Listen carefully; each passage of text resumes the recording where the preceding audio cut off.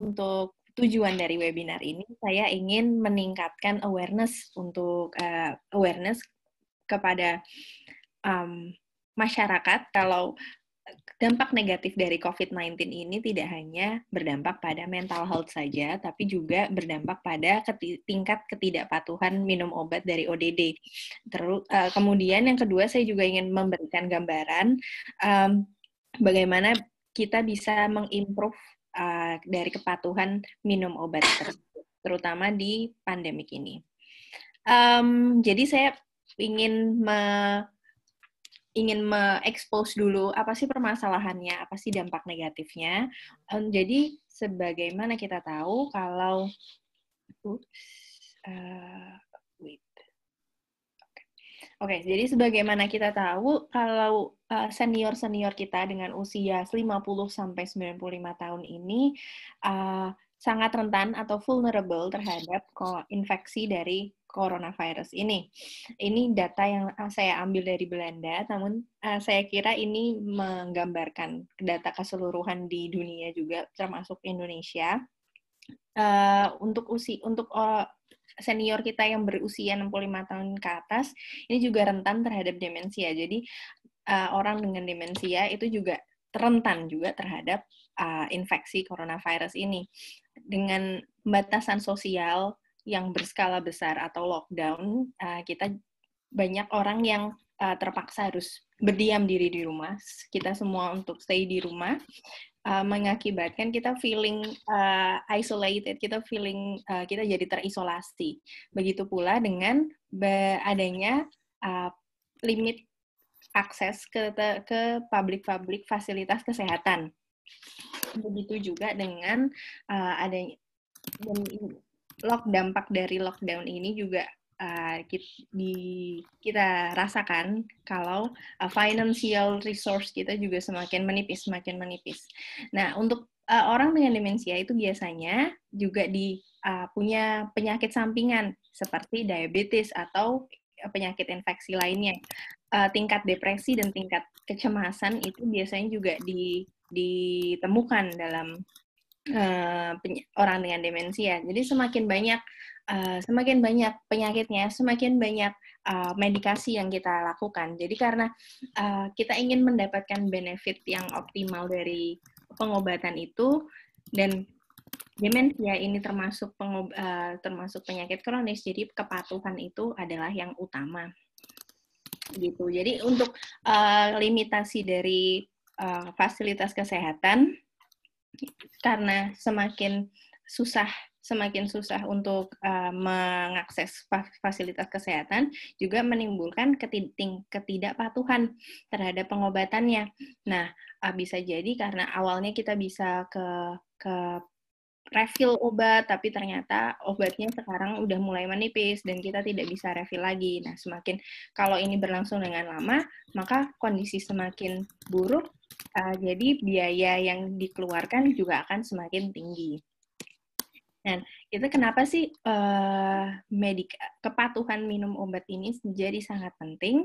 Karena uh, untuk kepatuhan, misalkan untuk kepat, uh, untuk sebagai contoh untuk uh, penyakit diabetes, minum obat itu tidak hanya mengikuti anjuran dosis yang di uh, anjuran dosis dari dokter, tapi juga harus mengikuti bagaimana sih kita minum obat, apakah itu sudah benar atau belum. Misalkan untuk ke penyakit diabetes misalkan untuk metformin itu di di diminum pada saat makan. Logikanya ini bisa dijelaskan dari grafik ini antara waktu sama kadar obat dalam tubuh kita. Ketika kita minum obat, nah, dalam waktu tertentu obat akan mencapai efeknya semakin lama obatnya semakin uh, berkurang dalam tubuh, efektivitasnya juga semakin berkurang sehingga kita perlu minum obat lagi di waktu selanjutnya. Tapi kalau kita minum obatnya nggak nggak sesuai dengan apa yang dianjurkan dan tidak sesuai dengan uh, yang disarankan, maka obat ini uh, maka efektivitasnya tidak bisa tercapai. Bisa jadi uh, efektivitasnya melebihi yang harus seharusnya, jadi malah toksik atau malah tidak mencapai efektivitas sama sekali, jadinya malah nggak efektif. Nah, uh, kejadian-kejadian seperti ini tuh yang tidak kita harapkan. Jadi uh, efeknya adalah me, kita bisa mendap, uh, orang dengan demensia itu bisa mendapatkan uh, memperburuk kondisinya sehingga menurunkan kualitas hidupnya uh, semakin banyak visitasi ke dokter semakin banyak kos yang yang dikeluarkan kemudian apa sih yang mendukung uh, orang ini tidak patuh dalam pengobatannya. Jadi kita tidak bisa pinpoint pada salah, pada satu faktor saja, tapi banyak multiple faktor yang berkontribusi. Bisa dari pasien, healthcare, um, uh, dari faktor obatnya itu sendiri, atau dari sosioekonomik. Kalau kita kaitkan dengan COVID-19, uh, semak, karena dalam masa pandemik ini banyak sekali kabar-kabar buruk yang kabar-kabar buruk yang berter uh, yang kita dapatkan. Jadi semakin tinggi tingkat stres kita sehingga mempengaruhi kesehatan mental. Namun yang uh, unik di sini adalah tidak hanya pasien atau tidak hanya ODD saja yang mendapatkan dampak buruk, tapi juga caregiver karena burden dari caregiver ini semakin tinggi. Um, karena dia juga harus mengurus ODD, tapi juga harus taking care of themselves gitu. Um, Oke, okay, dari demensia sendiri itu adalah suatu penyakit kognitif yang menyerang uh, kemampuan kita dalam belajar, berpikir, dan yang paling penting dalam kita mengingat. Oke, jadi banyak beberapa banyak step, uh, banyak stage dari demensia ini. Early stage itu adalah yang paling uh, susah untuk dideteksi karena uh, gejalanya yang timbul itu juga belum tertera Kemudian middle stage dan late stage ini adalah orang dengan demensia namun sudah sudah fully dependent, sudah bergantung secara fully terhadap family member atau terhadap caregivernya. Beberapa gejala yang uh, biasa kita temukan pada orang dengan demensia itu yang pertama kesusahan atau kesulitan dalam melakukan uh, simple rutin di dalam sehari-hari. Kemudian linglung terhadap uh, sekitar, kemudian kesulitan dalam menghitung, perubahan mood yang sangat cepat, dan yang paling penting itu adalah kehilangan uh, memori atau yang biasa kita sebut kalau di Indonesia pikun ya. Hmm, dan pikun ini atau kehilangan memori ini sangat erat kaitannya dengan or, uh, dengan kepatuhan minum obat dengan orang dengan demensia uh, karena dibandingkan dengan gejala yang lain apalagi dengan uh, orang dengan demensia terkadang juga develop satu gejala satu permasalahan dalam uh, mendengar kemudian dalam melihat itu semakin meningkatkan ketidakpatuhan mereka. Namun dalam uh, case ini saya mau membagi dari dua kategori orang dengan demensia yang uh, masih tinggal independen, masih tinggal sendiri, dan oh, yang kategori kedua itu orang dengan demensia yang tinggal bersama keluarganya. Dan biasanya yang uh, tinggal sendiri ini kita lihat di uh, banyak kita temukan case-nya di Belanda. Tapi juga yang sedangkan yang untuk di Indonesia sendiri rata-rata orang dengan demensia tinggal bersama keluarganya walaupun orang uh, mereka ad, ada juga yang di Belanda ada juga yang tinggal bersama keluarganya. Nah, sehingga uh, peran dari social support dari family member atau caregiver ini sangat-sangat berperan penting terhadap um, monitoring kepatuhan minum obat dari uh, orang-orang dengan demensia. Um, Nah, apa sih yang uh, tipe-tipe ketidakpatuhannya? Itu yang pertama, yang umum yang umum yang di umum yang ditemukan itu per, biasanya seharusnya minum dua kali satu, tapi cuma minum hanya satu kali sehari. Kemudian uh, change interval interval dari pengobatan itu sendiri, um, intervalnya misalkan awalnya awalnya itu harus minum uh, dalam waktu rentang 8 jam, 8 jam sekali, tapi malah uh, jadi 12 jam. Atau bahkan uh, pengobatannya ini benar-benar stop sama sekali. Jadi mereka lupa benar-benar untuk minum obat. Kemudian atau temporary adherence, adherence kepatuhan temporary sementara. Jadi kepatuhan yang bersifat sementara ketika hanya akan ada visitasi dari dokter. Jadi minum obat dulu, terus nanti ketika diperiksa, oh berarti uh, setelah diakses itu setelah diakses itu uh, mereka patuh gitu. Nah, semua tipe-tipe ketidakpatuhan ini bisa diketahui deng yang dengan uh, kuncinya itu komunikasi. Orang dengan demensia itu biasanya lebih dekat dengan family member atau caregiver-nya. Jadi caregiver ini bisa assess mereka, uh, membantu assessment mereka untuk apakah mereka patuh atau tidak. Ini lagi ini lagi jika case-nya uh, orang dengan demensia tapi uh, dengan mild symptoms jadi gejalanya yang ringan. Uh, kalau dan apalagi tenaga kesehatan lainnya kayak farm, uh, apoteker atau dokter atau uh, sus, uh, nurse itu bisa juga mengassess assess uh, terhadap ketidakpatuhan ini jika adanya uh, reguler konsultasi. Dan jika memang ada ketidakpatuhan ini ditemukan, maka tidak semestinya kita me, me, menyalahkan menyalahkan completely terhadap uh, orang dengan demensia ini. Namun perlu adanya uh, satu komunikasi untuk uh, yang bertujuan untuk mengimprove, meningkatkan tingkat uh, kepatuhan pengobatan tersebut. Nah, tingkat kepatuhannya uh, bisa ditingkatkan dengan secara short term atau long term. Tapi kalau long term ini uh, efektivitasnya semakin kecil karena semakin tinggi, eh, semakin lama uh, waktunya, maka adanya recurrence dari ketidakpatuhan, adanya ketidakpatuhan ulang. Jadi uh, bagaimana caranya itu bersifat individual tergantung komunikasi dan tergantung dem, uh, stage of demensianya. Apakah yang mild atau yang uh, sudah late stage. Uh, tapi beberapa yang paling common dilakukan itu dengan mengganti obatnya yang awalnya jadi awalnya dua kali satu menjadi satu kali satu. Jadi obatnya diganti menjadi long acting.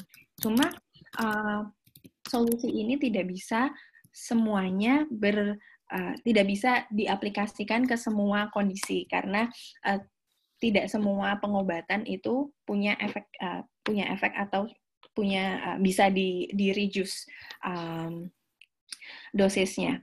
Dan uh, sehingga kita bisa sehingga kita bisa pakai uh, beberapa tools yang membantu yaitu kayak organ uh, seperti ini pill box seperti ini dengan adanya keterangan hari dan keterangan waktu kapan kapan uh, bisa diminum dan kadang-kadang juga dikombinasikan dengan adanya timetable seperti ini. Jadi ini menurut saya menarik karena me, uh, ada uh, nama obatnya, kemudian apa itu tujuannya, bagaimana itu uh, obatnya bagaimana obatnya, misalkan kayak obatnya bulat, obatnya berwarna putih, atau obatnya berwarna hijau, seperti itu. Dan kemudian uh, beberapa berapa kali obat ini diminum, begitu.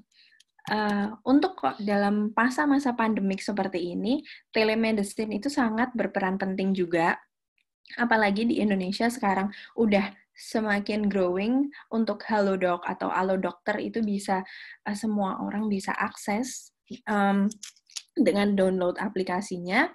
Uh, tapi yang paling penting di sini membutuhkan support dari uh, family member atau caregivernya. Yang pertama kita juga harus pro, sebagai family member atau orang yang hidup dengan ODD kita perlu proaktif uh, mengecek uh, mengonfirmasi lagi bagaimana pengobatan dari ODD ini. Tidak ada salahnya kita, jika kita udah tahu, kita udah tahu uh, misalnya dua kali setiap hari itu dua kali satu, setiap hari itu uh, diminum pada sebelum sarapan atau setelah sarapan dan sebelum tidur. Uh, tapi alangkah baiknya jika kita recheck kembali, terutama untuk uh, pengobatan yang menggunakan uh, specific medical device seperti inhaler atau insulin injection. Jadi untuk konfirmasi lagi apakah yang kita lakukan ini sudah benar atau belum. Kemudian juga untuk uh, membantu membantu pengobatannya ini sesuai dengan uh, protokol dari un, protokol dari uh, corona uh, anti COVID-19 ini. Seperti misalkan uh, obatnya ini ditaruh uh, tidak ada kontak fisik ketika ada pengiriman obat. Misalkan obat ini ditaruh di depan rumah atau pertama di disinfek, uh, didisinfeksi dulu untuk uh, packaging luarnya gitu. Dan per, uh, dan yang terakhir ini juga kita uh, penting pula untuk uh, support mental health mereka, seperti melakukan beberapa uh, kegiatan relaksasi dan meditasi. Oke, okay, jadi yang uh, take home message yang bisa diambil dari dari sini, uh, tenaga profesional itu mampu untuk me membantu uh, baik apoteker, dokter atau nurse itu mampu untuk uh, meningkatkan kepatuhan minum obat. Namun yang paling yang paling uh, ini bisa tercapai jika adanya komunikasi yang baik antara family member, caregiver uh, dengan ODD pula. Jadi ada ada segitiga segitiganya uh, hubungan segitiga antara tenaga profesional kesehatan, family member atau caregiver dan ODD. Uh, ada tiga hal yang penting. Uh, pertama 3M kalau saya bilang ada pertama untuk mengingatkan uh, jika OD, uh, untuk mengingatkan mereka dalam minum obat ini yang baik dan sesuai dengan anjurannya. Jika memang mereka tid, uh, kurang paham, untuk membantu mereka dalam uh, meminum obatnya. Dan yang ketiga itu uh, memonitor apakah mereka um, melakukan itu uh, hal yang sama setiap hari. Uh, dan yang terakhir itu dengan melindungi protek protek mereka dengan sesu, uh, sesuai anjuran uh, protokol dari uh, coronavirus ini, anti coronavirus. Oke, okay, jadi ini ada beberapa sumber uh, bacaan yang bisa diambil dan oke, saya pikir udah selesai. Terima kasih Mbak Sekar Galuh. Nah, um, sebelum kita lanjutkan dengan diskusi, ini adalah topik yang menarik. Saya sendiri punya banyak pertanyaan, tapi sebelumnya mm-hmm. saya ingin menyapa dulu teman-teman yang baru bergabung. Tadi ada Mbak Wasi dari Genif, ada Dr. Diana Santi dari Jakarta ya dok ya, dari Tangerang Selatan. Ada Mbak Lesti dari Belanda Mbak. Mbak Lesti, halo. Ada Dr. Budi Darmawan, ini dulu um, supporting banget di Alzheimer Indonesia Netherlands sekarang sudah kembali um, menjadi garda terdepan buat karantina COVID di Mojokerto luar biasa Mas Budi. Wow. Ada Kak Mariam di Alzi Bekasi. Halo Kak Mariam. Ada um, Kak Liana juga dari Alzi Pusat. Ada Mbak Manik um, senang sekali selamat bergabung. Terima kasih udah bergabung di sesi kali ini. Um, terima kasih Mbak Sekar. Ini um, menarik banget um, tentang kepatuhan pengobatan pada uh, lansia khususnya pada ODD um, pada saat pandemi ini. Um, ini menjadi saya tadi um, sebagai praktisi sebagai dokter umum um, mungkin dokter-dokter yang lain juga bisa kalau dari sisi saya ini kayak mengingatkan kembali bahwa oke okay, ini pentingnya untuk komunikasi karena kita untuk sistem di Indonesia kita komunikasi antara dokter dan um, apoteker dan pasien kadang-kadang kita meresepkan misalnya um, tapi tanpa mengingatkan untuk pasien kalau bilang ke apoteker untuk menginformasikan bahwa ini pasiennya juga um, dengan demensia. Jadi ternyata ini penting banget faktor komunikasi ini. Tadi ada pertanyaan dari um, Kak Liana, mungkin Kak hmm. Liana mau menyampaikan sendiri pertanyaannya atau sharingnya? Oh, ya. Halo, Kak. Halo, kalian. Uh, halo, Kak Sekar, Dokter Tania. Ini uh, sebenarnya sih juga uh, apa sesuatu hal yang aku pernah sampaikan ke dokter Mama ya, maksudnya uh, apa namanya kan kan karena mama backgroundnya uh, diabetes gitu jadi uh, sama hipertensi tapi kan udah uh, mulai susah untuk diminum obat gitu maksudnya kalau dikasih obat itu nggak ditelan tapi nanti disimpan sama dia ntar nggak kelihatan bisa dia buang gitu. Jadi kayaknya udah makin susah gitu kasih dia obat. Jadi uh, kami putusin nggak kasih dia obat gitu. Tapi uh, memang uh, pas dicek untuk gulanya terutama semuanya normal gitu. Jadi yang kayak uh, yang untuk uh, gula berkala yang selama tiga bulan gitu yang apa uh, HbA1c HbA1 ya uh, itu juga normal gitu. Dokter okay. juga bingung sih maksudnya uh, kok bisa? Ya itu mesti uh, apa namanya aku juga sempat sharing sama dokter Tara juga.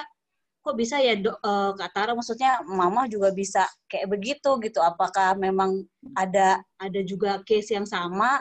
Orang dengan demensia yang dulunya diabetes tapi ketika dia udah uh, jadi ODD malah justru gulanya terkontrol gitu. Normal tanpa obat gitu. Which is yang sebenarnya kan agak aneh ya karena orang diabetes kan akan sampai mati pun iya. minum obat gitu. Hmm. itu sih itu sih yang mau aku maksudnya ada pernah pengalaman yang sama mungkin dengan uh, eh, ODD di Belanda misalnya atau mungkin uh, dokter yang dokter Santi misalnya pernah atau uh, dokter Tania pernah ketemu case yang sama gitu. Apakah memang bisa kayak gitu kejadiannya bisa gitu maksudnya tanpa obat tapi normal gitu. Kalau okay, Mbak Manik ada ya mau sharing mm -hmm. Oke, okay, um, Mbak Sekar, ada pengalaman sebagai apoteker ya atau gimana? Kalau ini? Uh, sebenarnya, sebenarnya saya juga saya uh, riset saya itu jauh dari klinis, tapi untuk jauh dari klinis, tapi untuk uh, pengal sebenarnya ini case-nya unik ya, karena hmm. case-nya unik sekali. harusnya uh, harusnya kadar gula dalam darah tetap tetap uh, tetap tinggi. Kalau hmm. tetap tinggi, nggak sebenarnya nggak ada nggak ada hubungannya untuk ketika orang sudah demensia, kemudian ada hubungannya dengan gula darah, saya sih seba karena background saya lebih ke riset. Kalau dari segi riset itu belum ada sih, saya belum pernah menemukan ada hubungan seperti itu. Gitu. Mungkin kalau dari segi klinis, mungkin dokter uh, Santi atau dokter Manik itu bang dokter Budi juga apa dokter Tania mungkin bisa membantu. Uh, kalau saya sharing sedikit, ini kasusnya persis sama kayak oma saya. Oma saya itu demensia vaskuler juga. Jadi sebelumnya hmm. bahkan itu baru uh, stroke yang jadi demensia itu sekarang beliau usianya tahun 8 eh, lahirnya tahun 30. Berarti udah hampir usianya sekarang udah cukup lanjut dan jadi beberapa tahun yang lalu baru karena ada stroke uh, itu uh, persis jadi kemarin kalau yang mengikuti Instagram um, story um, live-nya Kak Liana itu saya kayak saya flashback. Jadi sebelum-sebelumnya saya kok bisa kelewatan ya dengan gejala-gejala awalnya tapi pada saat stroke habis itu langsung hilang, belas hilang. Kasusnya sama. Jadi sudah sekitar 60 tahunan itu minum konsumsi obat gula, obat hipertensi setiap hari. Nah, sejak mm -hmm. tapi setelah um, stroke itu lalu mengalami demensia, itu um, diperiksa back to normal semuanya. Itu hmm. juga awal-awal kita juga takut untuk um, melepas obat langsung ya. Tapi kebetulan hmm. kalau oma saya kasusnya beliau gampang minum obat. Mungkin udah berpuluh-puluh tahun minum obat. Jadi kalau minum dikasih obat gitu meskipun demensia jadi tidak pernah ada masalah. Tapi karena hasil pemeriksaan penunjang, hasil labnya semuanya bagus, akhirnya kita pelan-pelan secara gradual kita mengurangi dan sampai saat ini tidak minum sama sekali. Jadi hmm. kalau kalau dari sisi mana saya saya juga belum bisa menemukan um, link antara apakah misalnya dengan uh, adanya kerusakan um, neuron yang di otak yang untuk menyebabkan demensia itu berhubungan dengan gula darah. Saya juga sampai sekarang belum bisa ketemu tuh linknya. Cuman um, kalau menurut saya mungkin apalagi kalau oma saya ini demensianya sudah uh, di tingkat uh, lanjut ya. Jadi itu mungkin makan juga lebih teratur gitu ya. Hmm, Mungkin hmm. makan lebih teratur dengan porsi yang lebih teratur. Dulu juga hmm. sama um, Kak Liana sukanya nibel, pokoknya deket di kamarnya tuh pokoknya penimbunan segala biskuit, segala um, apa snack-snack itu. Nah, jadi mungkin karena itu sekarang dia mungkin karena harus dibantu untuk makan, dibantu untuk um, jadi lebih teratur sebenarnya mungkin jadi porsi makanan juga lebih teratur, mungkin uh, kadar gizinya juga lebih ya lebih lebih bisa terkontrol lah gitu. Itu sih hmm. kemungkinannya begitu ya kalau kalau dari pengalaman saya. Saya nggak tahu mungkin um, Kak um, Dokter Diana Dokter Diana Santi ada pengalaman nggak Dokter? Belum. Terima kasih. Saya belum pernah mengalami itu dan rasanya belum ada memang penelitian mengenai itu ya. Betul. Karena memang saya nggak tahu, saya setuju sekali. Kemungkinan besar karena makan yang uh, lebih teratur, kemudian uh, stres-stres juga sudah nggak ada mungkin ya. Saya juga nggak tahu apa, mungkin itu justru perlu diteliti. Betul. belum, belum pernah saya temukan. Logikanya harusnya tetap tinggi ya. Harusnya ya, tetap tinggi. Ya. Iya. Nah ini ini mungkin yang muda-muda. Saya sudah mau mau mau lansia juga nih. Jadi yang muda yang muda-muda harus melakukan penelitian saya rasa. Iya, menarik iya. sekali yeah. saya rasa mm -hmm. karena ya akan semakin banyak sih kasus-kasus kayak gini gitu dan itu juga kadang-kadang yang dari um, dari sisi saya yang menjadi lebih jadi concern adalah karena kan kalau misalnya um, pasien udah berpuluh-puluh tahun misalnya um, mempunyai hmm. mengidap um, apa diabetes atau hipertensi. Jadi secara mindset kan ini kan harusnya minum obat terus gitu. Padahal kalau orang dengan demensia um, ya dengan kasus kalau misalnya kasusnya oma saya gitu um, kan udah mulai jarang ke dokter nih sekarang. Karena kan juga um, setiap ke dokter juga udah stabil. Paling ya dikasih suplemen. Misalnya suplemen buat vitamin atau albumin yang lain-lain tapi um, sebagai keluarga mungkin tapi tetap harus um, untuk cek secara berkala. Jadi hmm. jangan sampai kelewatan juga. Jadi meskipun oke okay, ini udah bagus terus gitu. Kalau misalnya um, gula darah mungkin ya um, misalnya punya alat gula darah yang bisa periksa setiap hari oke. Okay. Tapi setiap tiga bulan boleh juga um, yes. untuk ke lab hmm. untuk cek HbA1c karena itu akan tetap ya menjaga um, apa yang kita lakukan jangan sampai juga um, kebobolan gitu karena itu kan kita tahu itu adalah faktor-faktor resiko yang akan memperberat keadaan orang dengan demensia begitu. Ada pertanyaan lah, eh, ada tambahan? Um, iya, enggak. Saya cuma mau uh, clearin karena normal normally itu secara normal diabetes itu menimbulkan uh, resiko dari uh, demensia itu sendiri. Karena misalkan hmm. untuk diabetes berarti kan semakin semakin uh, tinggi uh, brain damage-nya semakin tinggi kerusakan dari neuron-neuron perifernya, jadi semakin uh, tinggi resiko seseorang itu mengalami demensia. Jadi se selama ini sih untuk di riset sendiri masih seperti itu, uh, masih seperti itu penelitiannya gitu. Jadi kalau uh, misalkan diabetes kok eh demensia tapi kok malah kalau the other way around jadi kayak sebaliknya itu kok malah Hmm, unik juga. Mungkin bisa jadi bahan iya. penelitian yeah. berikut ya sekarang. Iya, iya, iya. Ya, um, kalau saya um, ada lagi pertanyaan yang lain, uh, uh, Dr. Manik mungkin. Saya Mbak Tania. Oke. Okay. Ya, sekarang terkait COVID juga sebenarnya juga sebelumnya uh, banyak kan informasi di WhatsApp grup tentang obat-obat uh, untuk menambah daya tahan tubuh. Misalnya vitamin A, vita, uh, vitamin C, vitamin D, ataupun obat-obat herbal. Kalau di Indonesia banyak sekali dari informasi-informasi WhatsApp grup kita dapatkan seperti itu. Nah, bagaimana keluarga atau caregiver atau lansia sendiri yang bisa mengakses uh, WhatsApp grup uh, mengantisipasi informasi seperti itu terkait dengan uh, apa compliance terhadap minum obat yang memang sekarang sudah yang memang uh, lansia kan biasanya obatnya nggak cuma satu, biasanya uh, empat atau lima. Nah ini sekarang ditambah informasi, oh ini dalam uh, untuk menanggulangi COVID perlu tambahan ini A, B, C. Itu seperti apa? Uh, kalau menurut saya itu pentingnya peran. Jadi ketika misalkan nih ODD dengan gejala yang masih uh, ringan, biasanya kan wah ada obat misalkan minum vitamin C nih kita harus minum vitamin C untuk uh, selama pandemik ini. Nah, menurut saya dia kar dia itu um, memutuskan seperti itu biasanya dengan orang lain, dengan adanya asesmen dari orang lain. Nah, uh, peran dari orang lain ini, misalkan bisa dari caregiver atau family member ini sangat penting. Jadi uh, apa? Jadi perlu adanya requestioning lagi, perlu adanya pertanyaan lagi penting benar-benar penting atau enggak? Dan kalau misalkan memang masih belum uh, belum belum paham atau masih masih ragu itu harus sebaiknya itu dikon, tetap dikonsultasikan sama ya apoteker sama dokter gitu. Atau melalui yang tadi telemedicine itu tadi. Apakah ada apakah nanti ketika dia minum vitamin C itu ada uh, drug, uh, ada interaksi obat dengan obat-obat yang sekarang dia sedang konsumsi.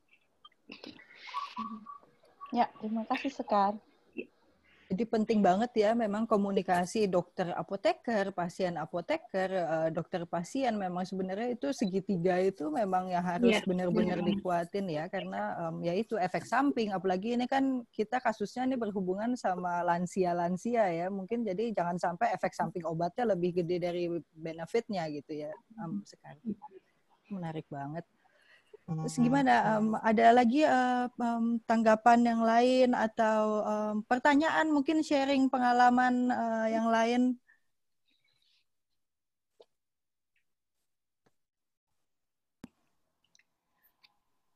Nah, nanya dong sedikit. Ini um, admin ikutan nanya, boleh ya? kalau ada hubungan sama keluarga nggak, misalnya kalau misalnya di situasi ini gitu, um, Kak Sekar, um, apa namanya? Uh, kan kalau ODD kan banyak yang di rumah. Mungkin kalau yang di Belanda banyak yang di uh, Panti Werda ya. Mm-hmm. Terus uh, peran keluarga atau peran uh, perawat-perawat di Panti Werda itu ada dengan kepatuhan obat itu tuh ada di mana gitu hubungannya gitu misalnya. Jadi kalau di Belanda sendiri mungkin semacam uh, semacam keuntungan ya karena sistem dari ke sistem kesehatan di Belanda ini tuh sudah sangat established sudah sangat uh, bagus. Jadi mereka itu tidak ada tidak ada permasalahan dengan kepatuhan minum obat terutama untuk uh, eh, ODD yang dirawat di panti uh, di panti uh, di Bauten Zorg di di Zorg gitu di panti Reda ini. Uh, karena mereka ini di jadi biasanya sistemnya uh, satu satu orang satu orang caregiver itu menangani beberapa uh, eh, ODD dan mereka ini sudah ada salah udah satu tool udah ada toolnya udah ada mesin udah ada mesinnya uh, oh udah ada apa ya? Kayak satu biasanya di, mereka kasih satu renteng satu renteng obat. Oh ini obat ini harus dikasih ke ODD ini pada jam sekian uh, pada sebelum makan atau setelah makan. Jadi mereka ini caregiver ini sangat-sangat penting perannya gitu. Jadi uh, kepatuhannya mereka ini sudah dikontrol sama caregiver ini dan semua kegiatan, semua aktivitas itu tuh akan didokumentasikan dalam satu laporan biasanya gitu. Jadi ketika ke, jadi nantinya akan dicek kembali apakah uh, dicek kembali apakah mereka uh, melakukan uh, pengobatannya ini sesuai yang dianjurkan atau enggak kayak gitu sih biasa. Yang saya lihat dari di Belanda ya. Gitu. Mungkin kalau dari Mbak Manik atau dari uh, yang lain ada uh, yang yang udah lama tinggal di Belanda. Ada masukan atau ada sesuatu yang bisa di sharing tapi ternyata berarti memang challenging banget. Sebenarnya kalau saya lihat tadi dari pemaparan uh, Mbak Sekar, berarti um, kalau misalnya, oke okay, lebih aman misalnya, kalau misalnya di Belanda lansia yang tinggal di ZOR, karena untuk hmm. obat itu diurus oleh um, caregiver yang memang di training untuk ini. Hmm. Dan kalau misalnya di Indonesia, mungkin caregiver lebih banyak keluarga sendiri, itu juga mungkin bisa lebih terkontrol.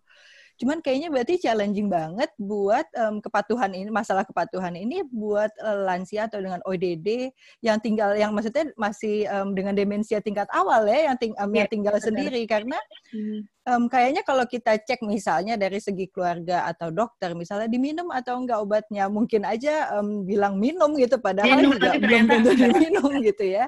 Oke, mungkin ada saran nggak gimana ya caranya, maksudnya um, apa nih yang harus dilakukan oleh uh, keluarga atau yang misalnya caregiver um, itu yang harus dilakukan gitu buat um, menangani ini? Hmm, sebenarnya kalau uh, kalau mis kalau uh, biasa biasanya kalau di Belanda kalau di Belanda kan ada banyak lah variasi toolnya ya uh, misalkan ada ada automatic dispenser, automatic dispenser uh, obat gitu. Tapi kalau misalnya di Indonesia karena mungkin uh, belum sampai uh, di situ sistemnya, um, ya tidak lain lagi untuk mengingatkan sebenarnya, mengingatkan dan memonitor gitu. Yang penting itu adalah kejujuran sih. Kejujuran dalam uh, pengobatan itu sangat-sangat berperan penting juga gitu. Apa uh, tetap recheck, tapi itu uh, rechecknya itu jangan terkesan untuk menghakimi karena kalau misalnya menghakimi malah nanti uh, ODD tidak ODD tidak mau gitu. ODD malah jadi kok aku di kayak gini kan aku masih mampu gitu. Tapi Betul sepertinya seperti kayak ayo sama-sama ayo uh, kita uh, min maksudnya melakukan pengobatan ini untuk mencapai apa yang kita inginkan. Jadi dari awal itu sudah di tujuannya itu sudah harus clear gitu. Karena nggak ada uh, hakim menghakimi, terus uh, lebih friendly approach seperti itu sih. Dan itu sebenarnya juga sangat susah ketika family member itu tidak mengetahui uh, pengetahuan-pengetahuan seperti ini. Karena kan biasanya oh ya udah ini ambil uh, minum aja obatnya. Jangan udah udah diminum apa belum? Tapi tuh uh, uh, beberapa tahapan komunikasi seperti uh, tuju meng mengutarakan tujuan pengobatan dan segala macam itu biasanya nggak tersampaikan. Dan itu challengingnya sih challenge-nya sebenarnya di situ. Oke, okay. jadi memang personalized juga ya approach-nya. Iya, maksudnya gimana nanyain ya, gimana mungkin um, anak yang sebagai caregiver, misalnya tinggalnya nggak barengan gitu. Jadi memang butuh pendekatan masing-masing iya, pokoknya iya, supaya iya, tidak terintimidasi lah gitu misalnya ODD-nya untuk nggak minum. Oke, okay, ya ini juga jadi catatan juga buat. Um, Mungkin saya bisa ya berbagi dokter. pengalaman sedikit ya. Terus terang uh, begini, kalau kebetulan saya ada beberapa keluarga yang tinggal di Belanda, memang kalau di sana kebetulan mereka tua semua, usia di atas 90-an sampai usia sampai di atas 90-an, walaupun tinggal sendiri tetapi memang mereka di, dibantu. Ada tenaga kesehatan yang selalu datang dua hari sekali atau begitu yang saya tahu begitu. Sehingga mereka nggak ada eh, kesulitan. Sementara kalau kita di Indonesia kebetulan ibu saya umur 85. Kalau saya lihat sudah mulai uh, demensia ringan ya. Dan kebetulan beliau itu orang yang ikut aktif dengan organisasi antara lain organisasi Alzi ini ya. Beliau malah saya baru ikut. Uh, kesulitannya bagi orang-orang seperti ibu saya yang aktif, dia tidak dia sangat uh, tidak mengakui ke ya, denial. Ke, denial sekali gitu kan. Hmm. Dan ini buat buat kami susah. Kebetulan uh, adanya COVID ini, beliau tinggal dengan saya. Dan saya sudah mengamati sebenarnya beberapa uh, bulan belakangan bahwa cara uh, obat-obatnya itu selalu uh, habis tidak uh, uh, tidak sama gitu. Padahal obatnya itu minum semuanya satu kali sehari, mm -hmm. dibagi dua, artinya pagi dan malam saja. Tapi uh, beliau uh, tetap merasa nggak mau dibantu orang, mau sendiri semua masih begitu. Sampai hmm. akhirnya tinggal di saya uh, selama ini saya tinggal di sini dan saya amati dua bulan ini saya amati dalam waktu setiap dua minggu saya lihat catat obat-obatnya, saya perhatikan obat-obatnya ternyata memang begitu karena masih nggak mau itu. Hmm. Sampai pada akhirnya saya saya ambil alih betul-betul saya ambil alih ya saya minta maaf memberi pengertian bahwa uh, dan itu sulit sekali terus terang karena denial sekali. Uh, saya saya pikir ini harus diambil keputusan gitu. Artinya kita harus tegas juga begitu ya. Sehingga saya uh, ambil alih obat itu saya memasukkan perharinya. Mm-hmm. Per hari ke dalam kotak-kotak itu awalnya nggak terima itu sulit sekali.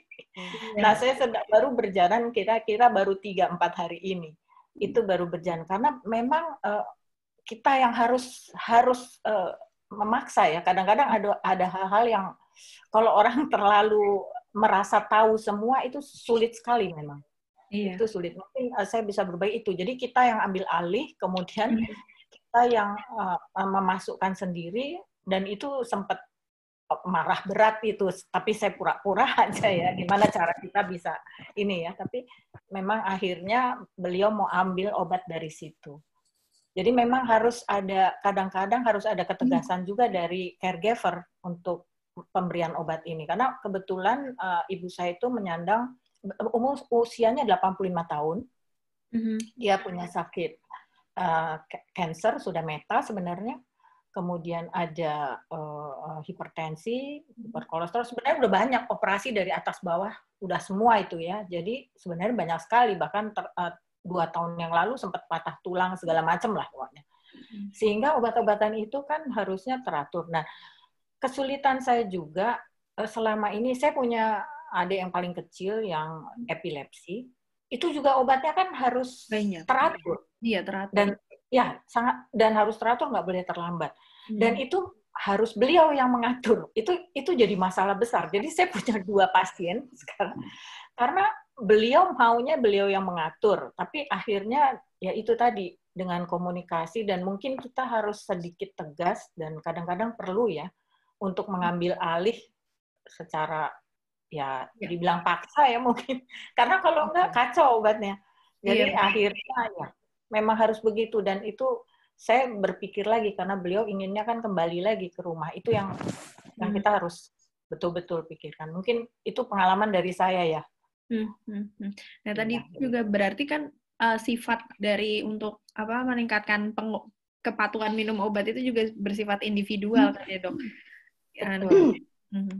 tergantung case dari ODD sendiri Ya, luar iya. biasa banget ya. Makanya tapi dengan kayak gini kadang-kadang um, justru hmm. dengan kayak gini kita juga maksudnya dari segi praktisi, dari segi um, dokter juga kita juga jadi lebih ngerti kan kalau misalnya oke okay, kalau kita ngeresepin obat ya udah ya coba cari yang dosisnya yang kayak tadi um, Mbak Sekar juga ngomong kalau hmm. bisa sebisa mungkin yang single dose atau ya setidaknya ya, yang jadi ya karena pasti akan menyebabkan tapi ini bagus banget makanya ini sharing-sharing yang sangat berguna buat ya semua orang sebenarnya gitu.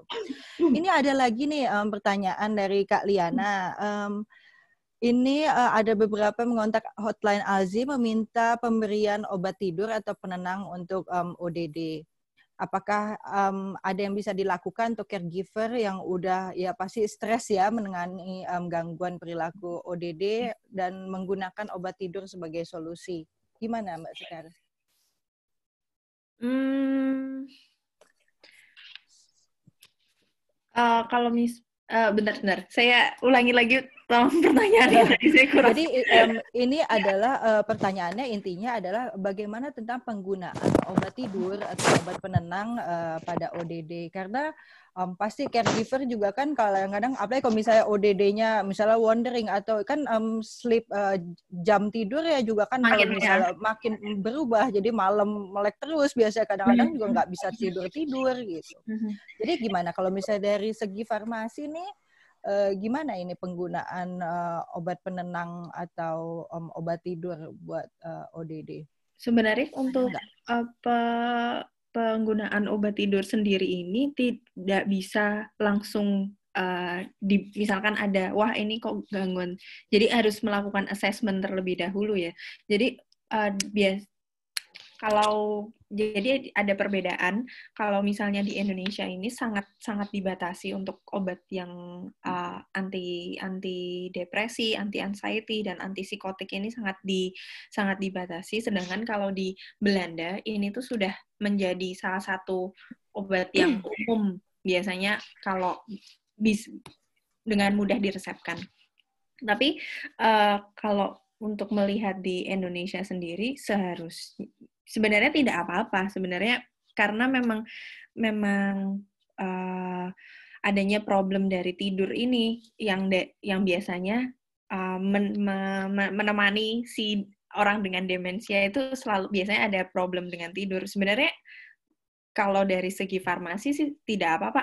Asalkan tidak ada interaksi obat dengan uh, obat lain yang di yang dikonsumsi gitu.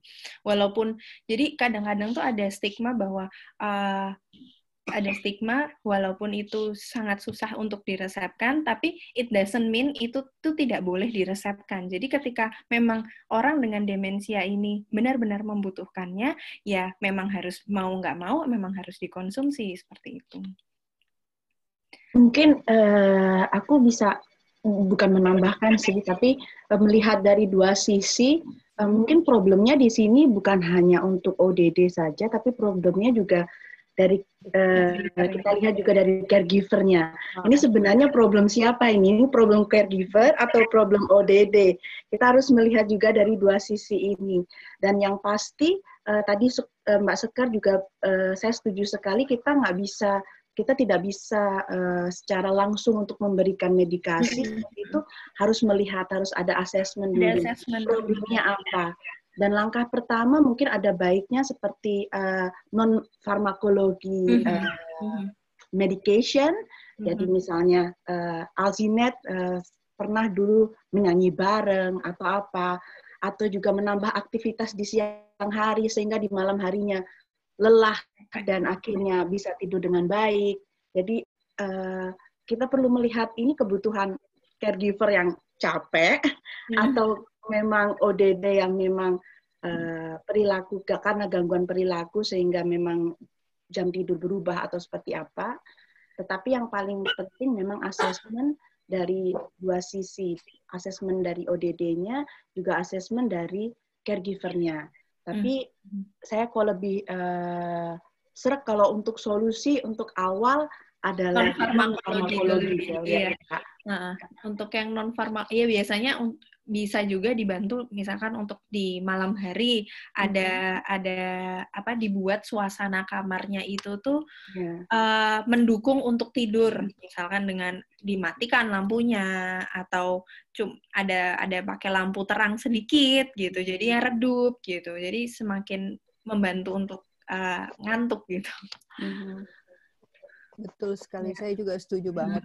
Jadi kalau dalam kasus um, dulu pengalamannya oma saya, jadi um, dokter meresepkan. Jadi um, kita ada pegangan di rumah hmm. untuk obat um, anti anxiety itu. Karena saya juga udah wanti-wanti bilang obat-obatan ini juga ada efek samping. Kalau diberikan terus-menerus itu akan memperburuk fungsi kognitif, jadi akan memperberat demensianya. Hmm. Tapi waktu itu kasusnya itu udah nggak tidur, pokoknya dua, dua, dua kali 24 jam benar-benar um, jadi tapi kan lama-lama jadi agitated ya maksudnya hmm. jadi ngantuk tapi merem tapinya nggak mau tidur gitu jadi hmm. nah itu waktu itu sama dokter akhirnya oke okay, kita kasih setengah tapi saya setuju banget dengan untuk awal memang ke, um, treatment non farmakologis atau mungkin bisa hmm. dikasih melatonin saya nggak tahu kalau misalnya di Indonesia yeah. itu uh, bisa mudah nggak didapatkan melatonin karena kalau misalnya Iya, karena juga awal-awal saya persis saya juga kayak gini karena kebetulan oma saya yang merawat ibu saya. Jadi setiap hari kita kontak-kontak saya juga pertamanya udah pokoknya diajak aja jalan-jalan pada siang hari sampai sore biar capek. Tapi memang nggak bisa gitu. Jadi saya di video call dan saya juga bisa ngerti, oke, okay, ternyata nggak sesimpel itu ya, tidak sesuai dengan maksudnya sesimpel itu teorinya. Oke, okay, kita kasih ini tetap nggak bisa tidur dan saya lihat sendiri. Oke, okay, jadi mungkin um, tidak mudah untuk memberikan um, atau mengkonsumsi obat anti anxiety karena itu juga punya efek samping. Mm-hmm. Tapi bila diperlukan, betul sekali kayak tadi Mbak Sekar bilang, kalau diperlukan, misalnya udah nggak tidur tiga kali eh, tiga hari, tetap maksudnya kan lama-lama juga rewel ya, jadi um, agitated juga kan yeah, ODD-nya. Nah itu boleh dikasih dengan dosis kecil mungkin gitu. Mungkin hmm. begitu kali ya. Iya karena karena untuk biasanya awal pada awal itu memang harus starting dari low dose dulu, ya. kemudian kita assessment assessment lagi sampai benar-benar itu benar dibutuhkan atau tidak gitu. Betul sekali. Oke, okay, uh, eh, ini sudah hampir berakhir nih. Um, mungkin uh, Mas Budi, gimana ini um, tentang COVID nih berhubungan ini yang sudah pulang ke Mojokerto. Ada pengalaman nggak berhubungan dengan lansia yang dengan COVID kah atau gimana? Um, sementara ini kalau pasien yang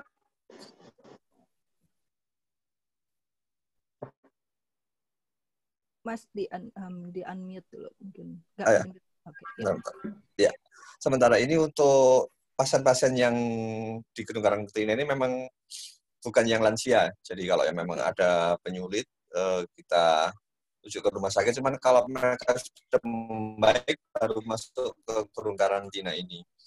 Eh, untuk lansia memang kalau di lingkungan di sini ya, di mungkin di Mojokerto, mungkin lebih banyak sugesti ya kemarin kalau di ada obat-obat tradisional atau apa itu mereka percaya bahwa dengan obat-obat tradisional itu bisa meningkatkan daya tahan tubuhnya. Dan hmm. memang dengan dengan diberikan itu mereka lebih merasa lebih sehat. Kemudian ada uh, Eyang di sini ya, yang di rumahnya mertua itu dengan kalau dikasih obat-obat dia merasa belum belum nyaman tapi ketika mendapatkan uh, jamu dia merasa wah ini dengan jamu ini saya lebih lebih enak gitu jadi okay. uh, lebih hmm. lebih percaya dengan tradi tradisionalnya itu karena mungkin rasanya enak kalau obat mungkin rasa nggak enak terus uh, juga uh, kadang di takut-takut kalau nanti sakit nanti di rumah sakit di karantina, tidak bisa ke mana-mana. Uh, langsung kalau sudah agak pilpres sedikit langsung, iya sudah sudah sudah enak, sudah sudah merasa sehat gitu. Jadi jadi lebih lebih uh, apa besti besti dan uh, ya ini uh, bisa memicu uh, kondisi tubuhnya lebih merasa merasa lebih enak. Oke. Okay. Jadi sugesti yang ah. bikin jadi imun juga lebih meningkat ya mudah-mudahan ya. Iya, Asal iya, tetap semoga, jangan semoga bandel juga sih gitu sebenarnya. Iya, iya. Oh, menarik banget. Tapi sehat-sehat ya Mas Budi bertugas di sana luar biasa sekali ini. Cuman ini saya sendirian selama dua minggu ini. Jadi saya wow. uh, harus stay 24 jam. Oke. Okay. Oh. Jaga kondisi Mas Budi. Tetap iya. sehat juga di sana. Minggu on ini jadi ini off nanti saya saya siap ini, saya siap uh, hazmat. Oke. Okay. Oh, Dan okay. ini jadi kalau kalau misalnya ada ada panggilan langsung saya pakai yang ke bawah, yang lain-lain ada di bawah APD level 3. Oke. Okay. Berarti ini stay di rumah sakit aja, Mas? Di gedung karantina. Oh, di gedung karantina. Oke. Okay. Iya, di gedung karantina. Aku, aku nggak tahan mau ngomong, tapi dia tetap masih bawa pakai kaos JM. luar biasa.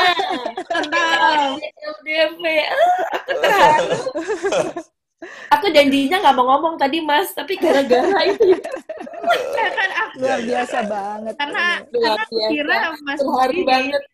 Iya, aku kira Mas Budi di rumah gitu. Oh, enggak, enggak. Lagi ini jaga 24 jam di bawah aja.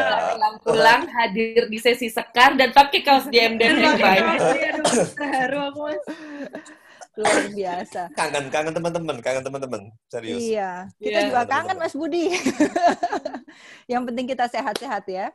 Nggak kerasa amin, ini amin. udah jam 11 lewat. Um, terima kasih semuanya udah bergabung untuk uh, untuk mendengarkan presentasi yang menarik banget dari Sekar, untuk berdiskusi, saling sharing karena itu tadi juga apa yang kita bahas itu sangat relevan baik buat apoteker, baik buat caregiver, baik, baik buat ODD, baik buat praktisi, dokter umum. Jadi semoga um, ini sangat bermanfaat banget. Sebelum kita closing, um, saya mengucapkan terima kasih banyak atas al nama Alzheimer Indonesia Nederland. Kita jangan lupa minggu depan masih ada webinar um, series yang berikutnya tentang kesehatan pencernaan pada lansia dan ODD kembali bersama Sekar. Sebelum kita berpisah, jangan lupa kita harus apa? Foto bersama dulu. Oh, iya. Ayo kita siap-siap selalu. Wah, ayo ayo ambil propnya ini. Wah, Kak Mariam. Oke, dihitung ya. Oke, tunggu semua siap ya masih. Oke, Liana, Kak Mariam. Satu, dua, tiga. Sekali lagi ya.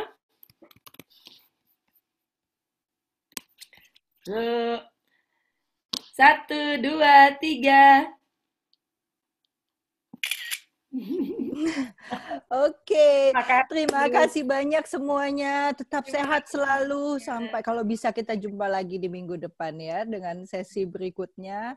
Sehat-sehat, um, saling jaga di sini terima kasih banyak udah bergabung dan meluangkan waktu semuanya. Dadah. Terima kasih. Terima kasih semuanya.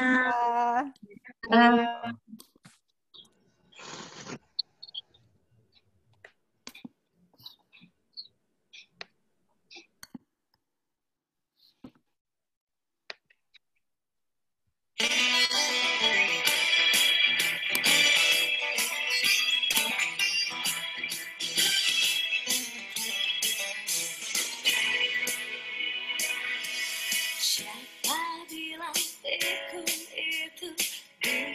biasa saja.